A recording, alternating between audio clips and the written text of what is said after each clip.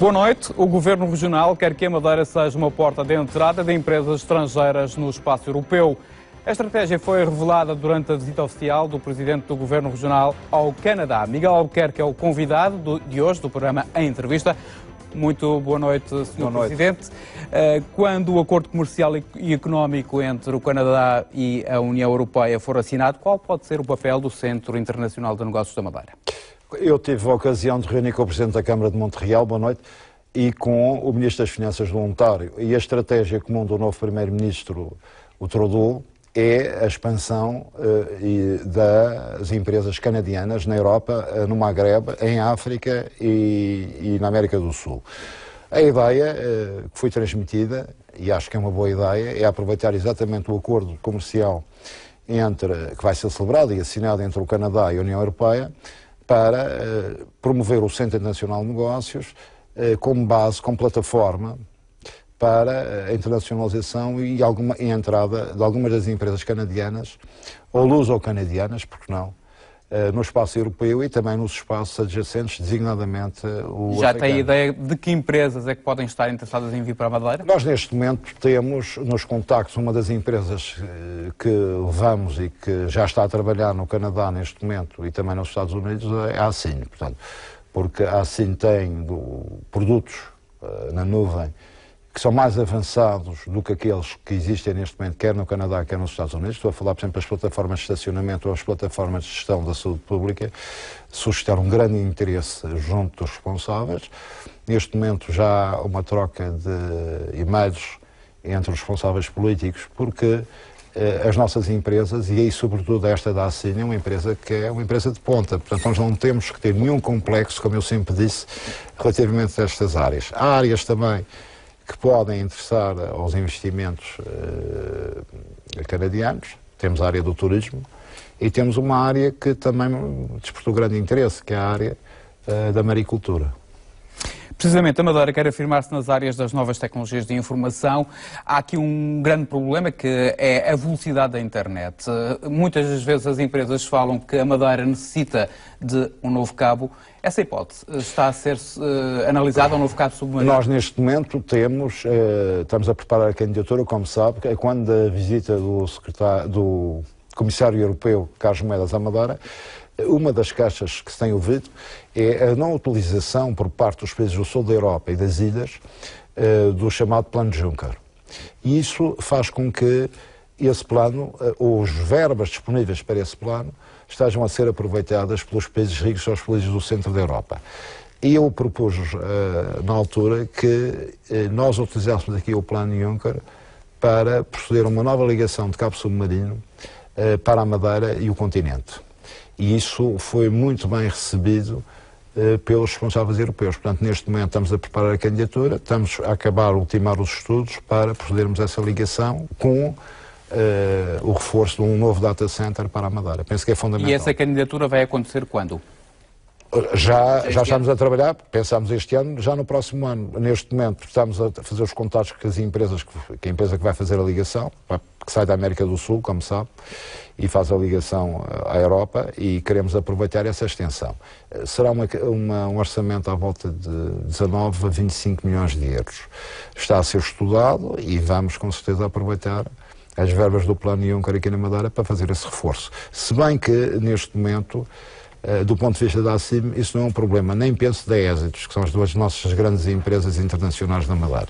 É bom que os madeirenses tenham a noção do trabalho que a MIT e a Universidade da Madeira está a fazer aqui na área uh, das novas tecnologias. Nós temos dos melhores cursos de novas tecnologias do país, seguramente, e uh, neste momento, quer uma quer outra empresa, vão ter, uh, nos próximos tempos, cerca de 400 engenheiros informáticos aqui formados. Portanto, eu acho que isto é excepcional. Neste momento, algumas das empresas já estão a entrar na África do Sul, Uh, muitas delas já estão na Europa, como sabe, gera cerca de 500 mil estacionamentos, por exemplo, em Espanha, mas vamos precisar de fazer o reforço da formação de jovens nestas áreas, que são as áreas do futuro. E isto é muito importante para uh, acentuar aquilo que nós sempre dissemos, que era decisivo diversificarmos a, a nossa base económica. E diversificar a nossa base económica tem que ser em atividades vocacionadas para o futuro. E se é a área que está vocacionada para o futuro e que vem esbater aquele problema da ultraperiferia, é, na verdade, as áreas das novas tecnologias. O Sr. Presidente terminou a semana passada, ou ao início desta semana, uma visita de 10 dias aos Estados Unidos e ao Canadá. Quais são as grandes preocupações das nossas comunidades? A nossa preocupação, a preocupação base das nossas comunidades são muito respeitadas, têm grande credibilidade eh, junto, quer nos Estados Unidos, das autoridades, quer no Canadá. O principal problema tem a ver com as ligações. Esse é sempre o problema das comunidades. Eh, é evidente que no Canadá existe uma ligação da SATA.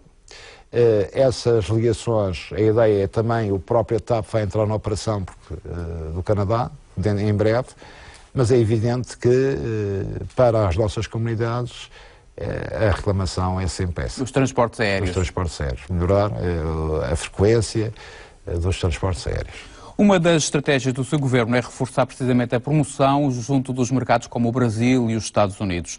Nota que a região, em termos turísticos, ainda é muito pouco conhecida nestes países?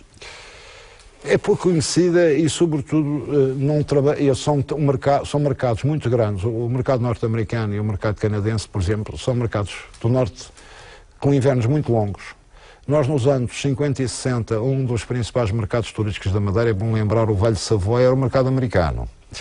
Uh, e uh, são mercados que, neste momento, nós vamos começar a trabalhar. Temos de trabalhar com grande inteligência, através da sociedade de promoção, através dos operadores. O governo, não é o governo que vai decidir o negócio, mas criar as condições para que o negócio aconteça. É evidente que qual é a altura boa para trabalhar? É quando o turismo está em alta. Nós, neste momento, estamos, tivemos um ano, fechamos o ano passado eh, com o melhor ano de turismo de sempre, com 6 milhões 630 mil dormidas na Madeira. É bom sublinhar que este tem sido um trabalho muito bem feito pelos operadores, pelo Governo, pela Associação de Promoção. Não é só o Governo, eu acho que todos estão de parabéns como se tem trabalhado na Madeira. É, Houve uma grande mudança, foi isso? Na, na a, concentração, a concentração uh, da promoção, que foi o nosso objetivo, numa única entidade, a AP, foi fundamental. E a utilização das novas tecnologias nessa promoção e novos métodos foi fundamental. E, evidentemente, temos aqui uma conjuntura favorável, não é só a conjuntura favorável que explica o crescimento turístico. Este ano, pensamos fechar o ano com 7 milhões e 200 mil dormidas na Madeira, o que é também um recorde. Mas é um recorde com eh, algo que é importante transmitir aos senhores espectadores. É que eh, não basta o número de hóspedes, é preciso olhar para o preço de cama. E o preço de cama cresceu ano passado na Madeira 12,4%, relativamente ao ano anterior, e no Porto Santo 13%. Este ano penso que vamos ultrapassar os 13%. Ou seja, o valor acrescentado do produto da nossa economia, do turismo, é maior. Porquê? Porque o preço de cama, o preço de venda do destino é melhor para todos. Em novembro, o Sr. Presidente viaja para o Dubai e para a África do Sul. Não, só, eu só vou agora à África do Sul. Anulou já o Dubai? O Dubai teve que anular porque coincidia com o orçamento, portanto vamos adiar para o próximo ano, infelizmente. Mas a, a, a, a SDM vai fazer uma ação no Dubai também.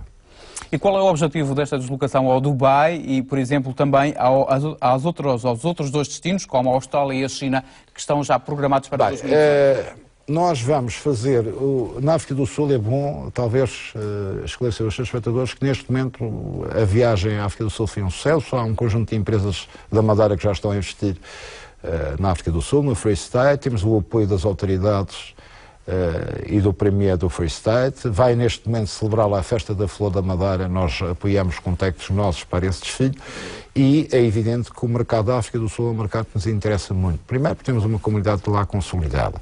Por outro lado, porque há um conjunto de oportunidades que se desenvolvem na África do Sul, sendo a África do Sul a potência regional em África.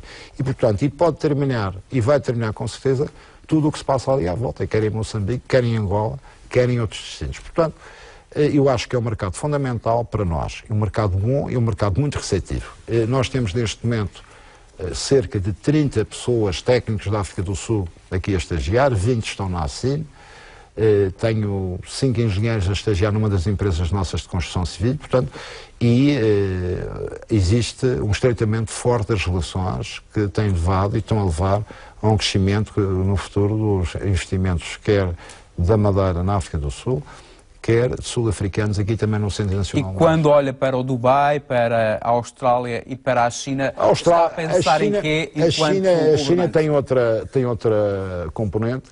Eu para a Austrália, não sei se vou para o próximo ano, se for no ano a seguir, eh, a Austrália tem uma componente das nossas comunidades que é importante. Portanto, será uma visita, fundamentalmente, visita às comunidades.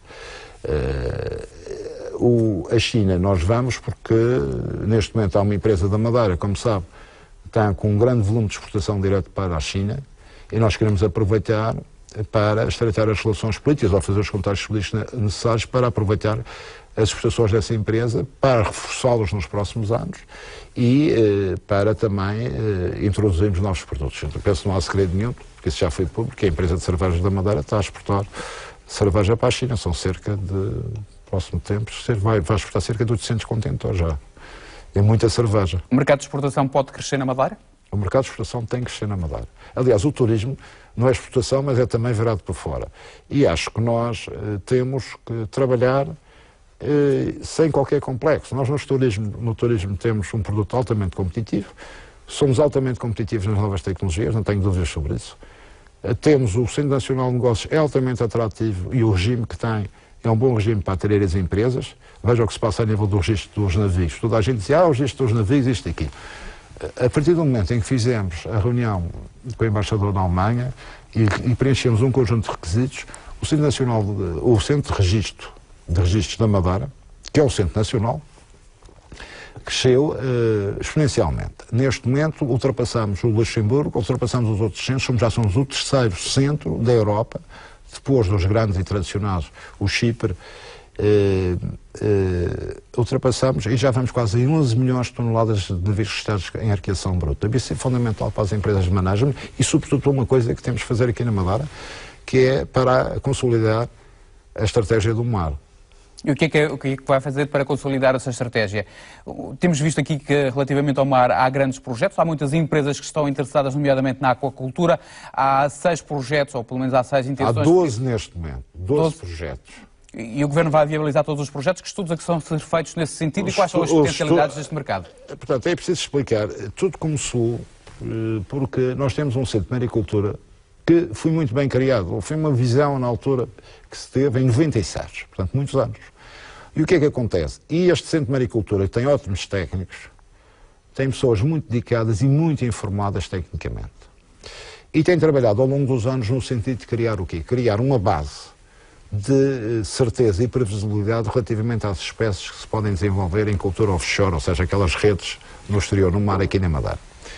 A grande vantagem é que este centro consegue hoje criar juvenis e desenvolver juvenis, ou seja, os peixinhos muito pequenininhos, eh, em, eh, em, espécies que são altamente competitivas, como, por exemplo, a dourada, eh, o pargo, o sargo e um peixe novo que está na moda e que toda a gente conhece, nós chamamos, chamamos aqui o lírio, mas nós aqui chamamos o charuteiro. E ainda um peixe também foi desenvolvido e que tem um grande potencial, que é o dourado, que é um peixe que é grande, que é muito utilizado no sushi. Portanto, e isto... E, temos, e acha que nós temos espaço para esses 12 temos, projetos? Temos. Temos os espaços e não haverá nenhuma incompatibilidade entre esses espaços. Aliás, as áreas estão delimitadas. São áreas que não interferem do ponto de vista ecológico e está tudo estudado. Portanto, isto são uh, criação em offshore, sem poluição do mar. E o, e o peixe, aliás, que o peixe uh, está quase. Uh, como o peixe da Madeira é muito bom, porque está sempre em atividade dentro das chamadas jaulas em alto mar. O que é que, mas só para te explicar, qual é a vantagem? Primeiro temos esta base científica na criação e desenvolvimento dos juvenis que são, são muito boas. E nós temos uma empresa aqui na Madeira que está a exportar já 600 toneladas de dourada para Lisboa. A dourada que as pessoas comem em Lisboa é produzida aqui na Madeira. Uh, e uh, há uma grande atração das empresas e porquê? Primeiro temos o centro. E, e por outro lado, porque temos uh, algo que o Mediterrâneo não tem, que é a possibilidade eh, de, no inverno, os peixes continuarem a crescer dada a corrente e a temperatura das águas. Ou seja, o valor acrescentado do peixe aqui na Madeira é o seu crescimento nos meses de inverno, uma vez que a, a temperatura das águas na Madeira o permite. Outro dos projetos do Governo passa também por criar uma, um canal de exportação, digamos assim, dos produtos do setor primário. Esse, esse projeto vai constituir-se numa empresa? Como é que vai ser desenvolvido? Bem, nós queremos, no fundo, apesar de, de algumas pessoas dizerem mal da GERBA, porque querem, introduzir, querem entrar no mercado de qualquer maneira, para depois baixar o preço da banana, e convém dizer o seguinte, nós temos uma produção da banana aqui na Madeira que anda à volta de 20 mil toneladas.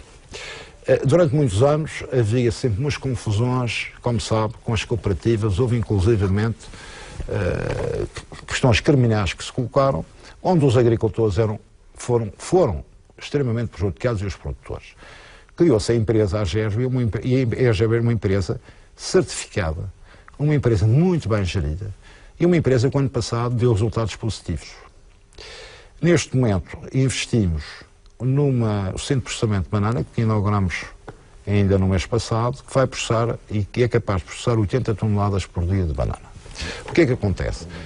Uma banana certificada, bem distribuída, 80 e tal por cento da banana vai para exportação, e com os preços, e eu posso desafiar quem quiser, que são os preços mais altos da Europa, é a nossa banana. Portanto, não, não tenham dúvidas sobre isto. O que é que nós queremos fazer?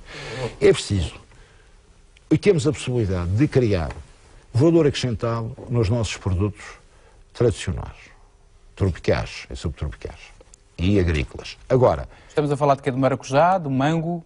Nós hoje sabemos trabalhar, todos os nossos produtos têm capacidade de exportação, desde a batata doce a tudo, porque eu, não venham dizer, é, ah, somos muito pequenos, não se consegue. Isso não, isso não, é nada. Hoje em dia tudo se consegue. É Portanto, a ideia é criar uma empresa para exportar Vamos criar uma empresa para juntar e ajudar os produtores a criar escala, porque temos produtores muito pequenos, a criar, criar uma marca, como se a banana, embalagem, e ajudar à exportação e à penetração desses, desses produtos nos mercados uh, fora da Madeira.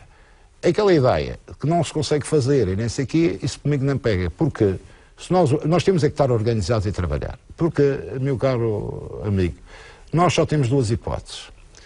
E isto é uma questão política, e é uma questão política que é muito importante nós analisarmos. Nós na Madeira agora estamos a fazer um trabalho o governo não é perfeito, mas há uma coisa que estamos a fazer. Temos uma linha de rumo. E a linha de rumo é simples. Temos consolidar, continuar a consolidar as nossas contas públicas, a pôr as finanças públicas da Madeira na ordem e fazendo progressivamente o desagravamento fiscal das famílias. Mas há aqui uma coisa que é fundamental. Só através do trabalho e do crescimento económico é que conseguimos melhorar a nossa qualidade de vida e a nossa riqueza. Aquela ideia de que é possível distribuir o que não se tem, nem aquilo que se queria, não é possível. Portanto, nós temos pessoas de trabalho na Madeira, temos todas as condições para exportar o que quisermos e quem tem dúvidas sobre isso vai à Holanda. A Holanda tem 17 milhões de habitantes, é mais pequeno, tem o tamanho do Alentejo. Isso é uma empresa, uma potência exportadora das maiores da Europa. Porquê? Porque as pessoas não têm medo de enfrentar o mercado, as pessoas vão para fora e exportam tudo o que querem, vejam o que se passa nas flores, no mercado de Amsterdão, basta ir ao Alchemia para ver como é que eles exportam as flores, dominam o mercado mundial e nós, neste momento, temos uma grande vantagem. É que nós temos uma rede internacional que está feita, temos pessoas de descendência madeirense dos principais pontos do mundo. Falar do Canadá, ou da América, ou, ou, ou, ou na África do Sul. Temos terceiras, quartas gerações, são pessoas de trabalho e os madeirenses têm essa ligação. Portanto, nós temos uma rede que podemos utilizar na nossa expansão económica. Muitos dos nossos imigrantes, especialmente os da África do Sul e da Venezuela, estão muito preocupados com o que se passou com o Banif. Eh, que resposta eh, é que deu a estes imigrantes nestas deslocações que fez eh, a estes dois países? Eu acho que eles estão preocupados com o que se passou, eu, que, com o que se passou na banca portuguesa, porque a maioria dos nossos conterrâneos perderam dinheiro no BPN, que é um caso de polícia, perderam dinheiro no BPP, depois perderam dinheiro eh, no, no Espírito Santo e agora no Bandis. Portanto, o que é que uh, eu recebi a associação, aliás, a primeira reunião que tive, porque eu não as cara, a cara estes problemas. A primeira reunião que tive uh, com os chamados lesados do Bandis foi uma reunião na Quinta Vigia em que propus que era importante eles constituírem uma, uma associação. E porquê? Para terem para ser uma entidade que servisse de interlocutora junto aos poderes, quem tem poderes de decisão nesta matéria, que não é o Governo Regional. O Governo Regional não tem poderes de intervir nisso, mas tem o meu poder de influência. Digamos que falaram uma só voz. Falaram uma só voz. Depois fizemos uma segunda reunião e a terceira reunião, e eu tive tempo para pensar e trabalhar, e apresentei uma proposta de depois de ter mandado as cartas, entretanto, ao Primeiro-Ministro e ao Presidente da República, para sensibilizar os poderes efetivos para a necessidade destas pessoas serem ouvidas. O que é que eu propus? Eu propus que eh, a situação dos obrigacionistas, dos diversos eh, entidades obrigacionistas, fosse constituído um fundo que fizesse, no fundo, emitisse obrigações no valor dos 75% das perdas de cada um dos obrigacionistas e que esse fundo, uma taxa de 0%, fosse ressarcir até aos 75% o valor das perdas de cada um. Esse fundo podia ser constituído como um fundo ou com o aval do Estado, portanto não entrava no DEVS, e, simultaneamente, o Estado poderia, para os outros 25%, fazer um crédito fiscal também uh, a X anos, onde esse, o restante montante dos 25%, os próprios uh, obrigacionistas seriam ressarcidos na totalidade dos 100%. Já recebeu uma resposta do Governo?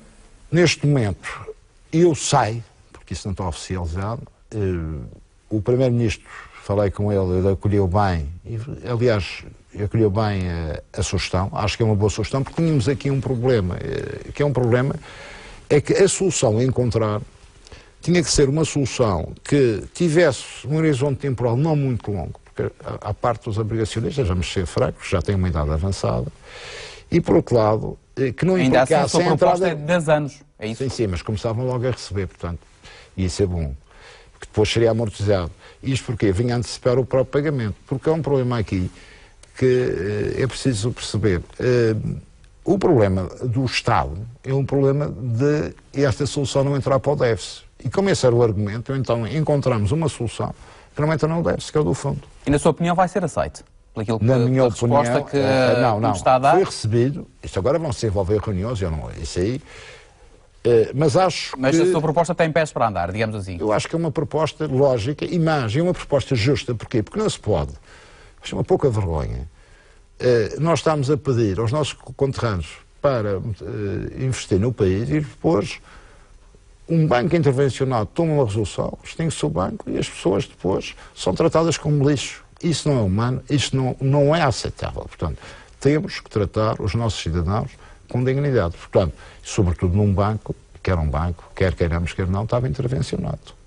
Além das obrigações subordinadas, há muitos clientes do Banif que têm outros produtos? Uh, que não, isto, isto aqui seria, isto seria as três é, Mas estes, estes, estes, produtos, digamos que estes produtos como os fundos de investimento, os fundos imobiliários, os fundos uh, imobiliário, também correm riscos ou não? Isso, eu, eu sei que neste momento alguns dos acionistas já puseram as respectivas ações. Agora, o que estava em cima da mesa e que foi-me transmitido eram as três eh, modalidades de obrigacionistas, que isso é que era o problema. E isso, obviamente, eh, foi assegurado. A 20 de dezembro do ano passado, o senhor ficou a conhecer que o Governo da República e o Banco de Portugal decidiram vender, digamos assim, o Banif ao Santander Tota. O Governo da Madeira foi ouvido neste processo? O senhor Primeiro-Ministro, na altura, telefonou-me e eh, assegurou-me duas coisas. Em primeiro lugar, que os depósitos iam ficar assegurados, que havia um problema de depósitos, hum, não vale a pena desenvolver isso, alguns depósitos que estavam para clientes, e que eh, iam ser assegurados, quer as agências, quer os postos de trabalho do banco. Foi só essa a conversa que tiveram? Foi só esta conversa que tiveram. E o que é que lhe transmitiu? Eu disse que estava muito preocupado e depois, sobretudo, depois daquilo que se tinha passado. Porque quem impôs esta solução, é bom saber isto, foi a DGCOM. E a DGCOM faz o que quer na Europa.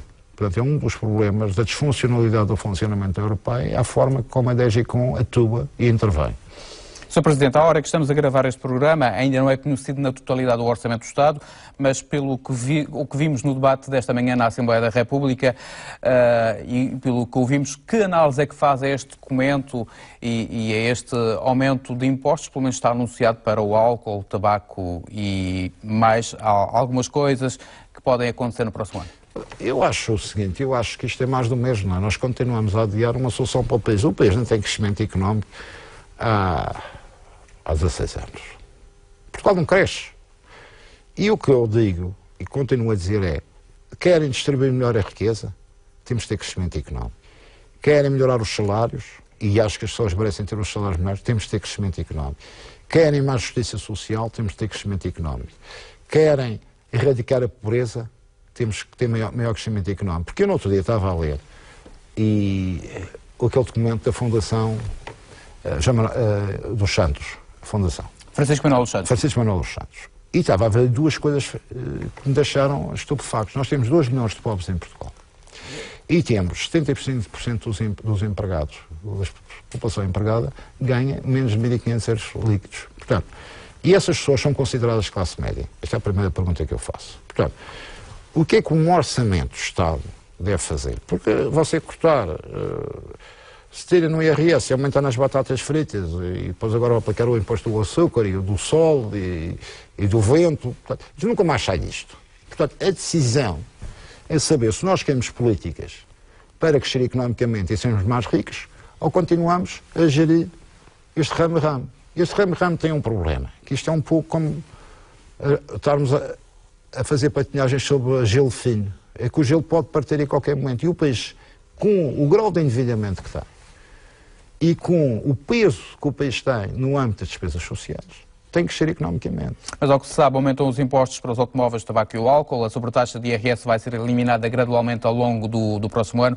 Uh, quase... Isso, aliás, é uma receita da Madeira, por isso é que nós já temos um processo em tribunal só nessa área, quando acabou a PF, isso é uma receita nossa. Portanto, nós já estamos a reivindicar cerca do ano passado cerca de 10 milhões de euros. Ainda não obteve resposta porque está em tribunal. Sim, vamos avançar até nos pagar. Quais destes impostos é que podem ser travados ou reduzidos na Madeira? A Madeira tem capacidade para, digamos assim, reduzir ou eliminar pura e simplesmente alguns destes Nós, neste momento, impostos? eu vou ser franco, nós temos de ter alguma prudência. Eh, eu eh, quero, como já disse, continuar a fazer a redução progressiva uh, do IRS para o escalão mais baixo, depois tem redução nos outros escalões. O ano passado fizemos os 7,5% e queria, uh, se possível, uh, reduzir o impacto do imposto sobre o património. Porque é um imposto, além de não ter muito sentido, é um imposto que afasta o investimento e nós precisamos de investimento. Ou seja, quebra aquilo que era a previsibilidade do investimento em Portugal. Nós não podemos estar a dizer as pessoas venham investir no Gold e investam em Portugal. Porque o problema deste é assim. Mas o Primeiro-Ministro já disse hoje na Assembleia da República que este imposto, em princípio, é para aplicar a imóveis com valor patrimonial superior a 600 mil euros. Não valor patrimonial, não, estamos a falar de valor o que se diz, uh, comercial. O que se diz, não, atenção. O que se disse aqui, isso não é o problema. O problema é que nós... Portanto, os vistos gold aqui nestes casos ficam salvaguardados. Não, mas você acha que o visto gold... Eu nem quero pessoas que investam em Portugal na reabilitação 500 mil euros. Porque isso qualquer... Quer muito mais. Não, eu acho que a gente precisa de pessoas que investam e que tragam para Portugal 5, 6 e 7 milhões. O que é que você está a fazer? Então você vem para cá e para a semana, para o ano que vem, não, ninguém sabe o que é que vai acontecer. E a Madeira tem alguma condição para afastar este, a aplicação deste Essa imposto? é a questão. Nós vamos estudar e vamos tentar fazer todas as diligências no sentido de não aplicar este imposto. Que este imposto é um mau sinal para os investidores. Porque nós não estamos sozinhos no mundo. E existem sítios onde as pessoas os, os, fundos, os investidores, quem tem as suas poupanças, podem investir em qualquer sítio do mundo, porque eles estão todos a atrair investimento. Só nós é que pensamos, muitas vezes estamos sozinhos no mundo, e que eles vêm para cá por causa do pastel de bacalhau ou do pastel de nata. Isso, isso, é qualquer investidor tem que ter previsibilidade porque as empresas fazem contas. Como os particulares, você faz contas, quando você tem que saber, quando vai comprar uma casa, quanto é que vai pagar de juros, quanto é que vai pagar o seu imposto durante 20 anos. Estas pessoas, quando fazem aplicações num determinado país, em determinado investimento, fazem contas. Dá segurança, senão não, não, não conseguimos trazer... Tem que ter previsibilidade e segurança. Nós andamos aqui sempre, nunca se sabe o que é que vai acontecer, e, portanto, e isso o que é que faz? Faz com que Portugal, que devia pensar no seu crescimento económico, Portugal é um país fantástico, tem gente fantástica, mas tem que ter, eh, por isso é que eu estava a fazer, o orçamento devia estar virado para o investimento, para a exportação. E temos depois uma coisa que nós fizemos aqui na Madeira e que, que está aprovada agora, que é o Código do Investimento. Portugal devia estar a, a, discutir como é que se atrai investimento, como é que se produz mais, como é que se exporta mais, está a discutir. Uh, vou tirar o imposto daqui do do lado para no outro. Muito bem, já percebemos a ideia, Sr. Presidente. O novo hospital para a Madeira parece ser um assunto que une, que une, digamos assim, os dois governos, o Governo da República sim, sim. e o Governo Regional, mas o Conselho de Acompanhamento das Políticas Financeiras do Ministério das Finanças recusou a inclusão desta obra nos projetos de interesse. Isso não é uma questão O que técnica. é que se está a passar? O que está a passar é o que eu também não sei. O que eu sei é que isto é uma questão, é um compromisso político, e eu vou discutir isto politicamente. Não vai ser meio de tecnocratas que dizem que não está bom, não sei o quê. Nós metemos o projeto, foi feito pelo SUS, que é a entidade com maior credibilidade em Portugal, segundo aquilo que estava decidido. Portanto, se a questão do hospital, o projeto está pronto, cumprimos os prazos, demos entrada. Se a questão é política, vamos analisar do ponto de vista político. O que queremos saber é que nós queremos saber agora o que é que vai ser decidido em sede de orçamento para começarmos a discutir Ainda não quem tem é a confirmação que se este projeto vai ou não entrar no Orçamento do Estado do próximo ano. Isso depende, obviamente, daquilo que o Sr. Primeiro-Ministro disse. Ninguém, ninguém vai discutir comigo o, se o projeto vai ter mais uma janela ou menos uma janela. O projeto foi feito, o projeto está apresentado, estão os custos estimados, temos um estudo financeiro, portanto... Quem é que deve para- financiar este projeto, o novo hospital? Isso nós estamos, maioritariamente, obviamente, que é o Estado. Agora, nós também não, nunca dissociamos, nunca descartamos a nossa participação nesse projeto. Agora, não venham falar questões políticas com questões técnicas. Sempre para mudar a janela, mudamos a janela. Agora, não venham meia dúzia de tecnocratas tomar decisões políticas. É em Portugal quem toma as decisões, relativamente a projetos de interesse comum e de interesse de, eh, regional, são as pessoas eleitas, são os políticos. E, portanto, não venham dizer quando é tecnicamente conveniente, ou não há dinheiro, ou entra para o déficit, então arranja-se uma comissão. Não, não. Para mim a questão é muito clara. Se, Política. se a questão é clara, eh, para já, eh, põe de lado, digamos assim, uma parceria pública ou não tenho, eu não tenho. A parceria política, pública ou privada pode ser feita. Agora, uma coisa que é, que é verdade.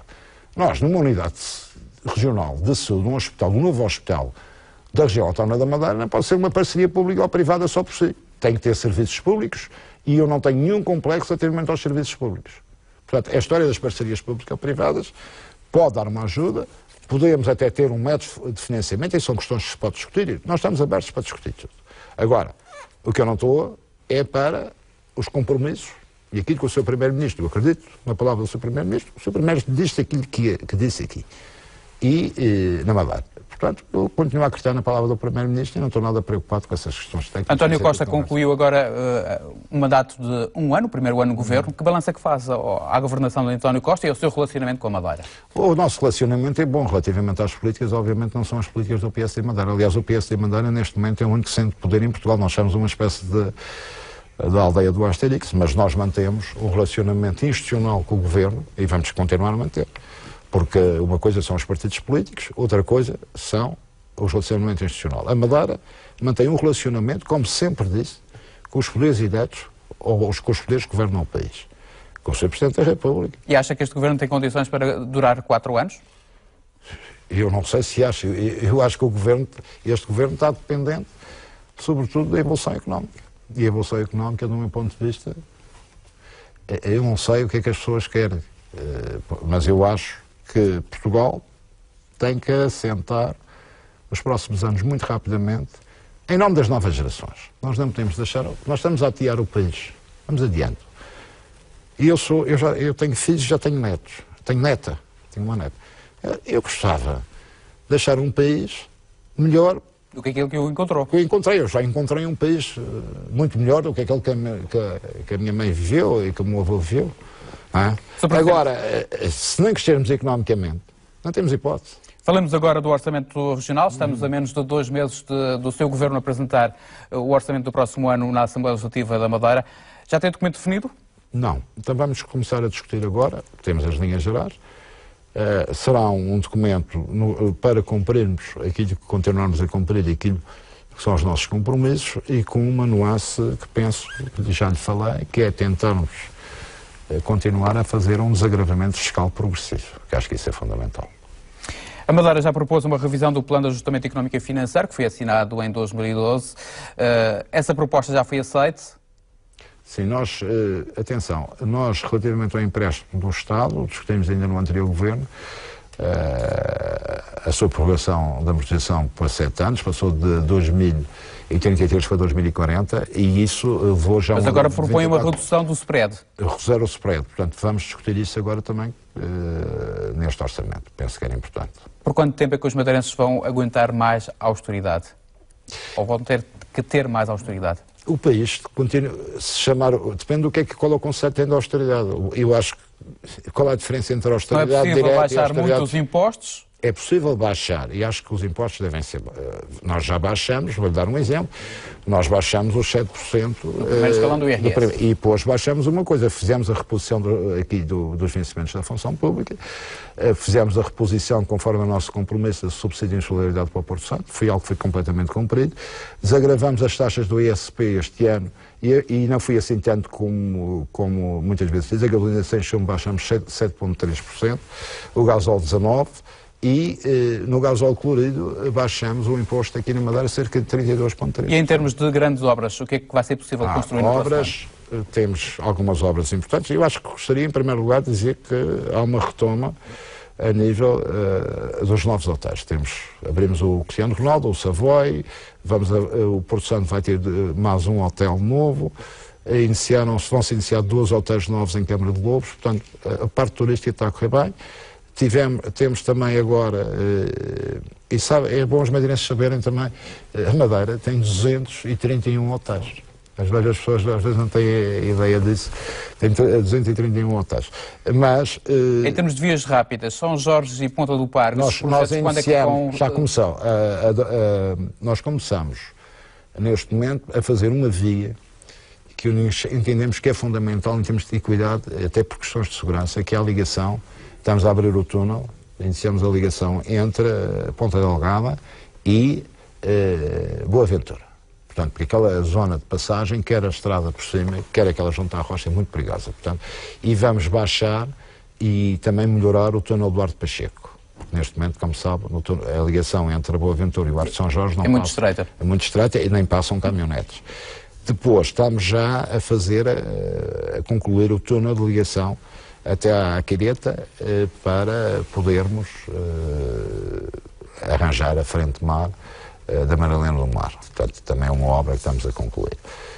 Vamos ainda agora abrir a circunvalação já no próximo mês a estrada do Caniço, que é uma estrada que até está bem bonita porque está bem feita e temos um conjunto de obras neste momento que vão continuar a ser desenvolvidas, umas delas quer nos edifícios, quer em acessibilidades.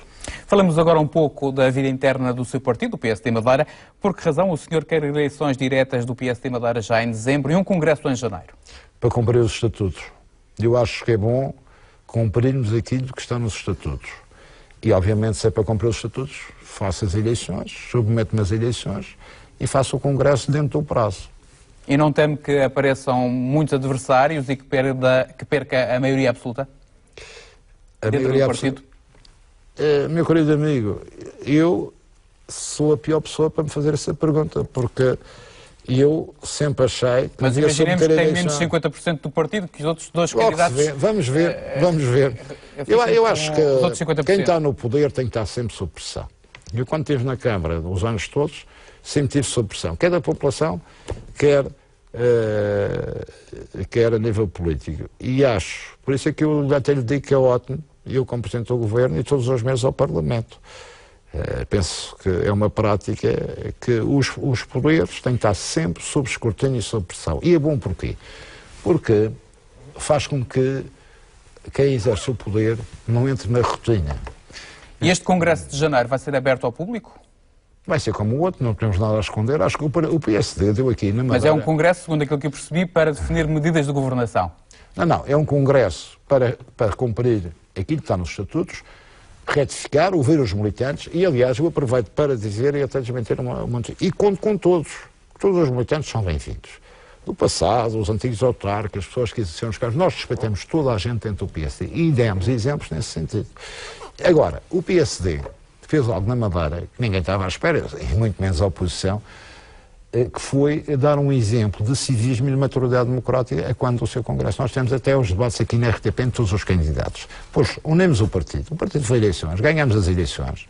Para grande desilusão da oposição, da oposição, que estava à espera e que ficou no registro mais do mesmo. O partido está unido, já debateu uh, as listas para as autárquicas do próximo ano ou ainda não? Será já no próximo ano. No início do próximo ano, a nossa ideia é ganhar a maioria das, a maioria das câmaras vamos apresentar candidatos credíveis a todas as câmaras, não vamos fazer aquele discurso uh, destrutivo, vamos apresentar alternativas, porque das câmaras o que conta, como sabe, são muito a personalidade dos candidatos. Vamos apresentar bons candidatos que possam granjear a confiança dos cidadãos e que apresentem bons projetos para o desenvolvimento. Temos ouvido dizer na comunicação social que os candidatos que perderam as eleições passadas não voltam a ser candidatos. É, é verdade?